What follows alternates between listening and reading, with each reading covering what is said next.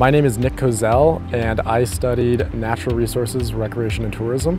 For my internship, I went to the country of Andorra. I did it with uh, Grandvalira and specifically um, Saete.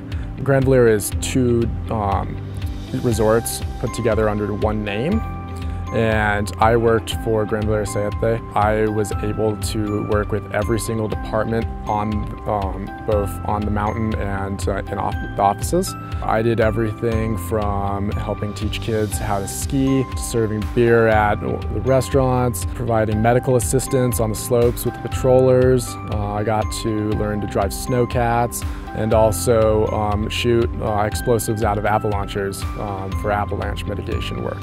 I'll be returning to Grandvalira next year as their freeride director. Um, they're opening up some several new areas that are a little bit more technical and more freeride skiing. I will be working with uh, several uh, companies, um, likely Armada Skis, um, hopefully GoPro as well, and several pro riders um, to develop this. For me, um, preserving natural resources and encouraging like recreation in the outdoors is important because it's kind of something that's been lost. Every year the natural, the, the natural areas get a little bit smaller and so I think you know showing people how important they are and what they hold is really important to me.